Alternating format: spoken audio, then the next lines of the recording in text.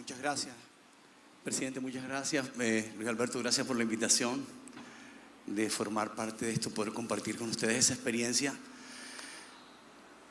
Yo no sabía que esa vaina se llamaba economía naranja.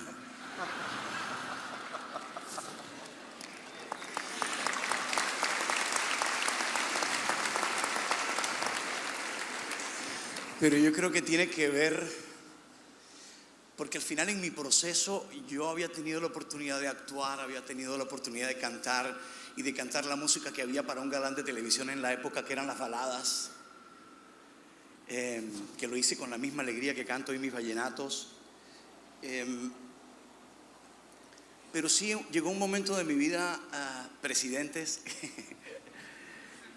que había que pensar en ser un artista que copia o ser un artista original.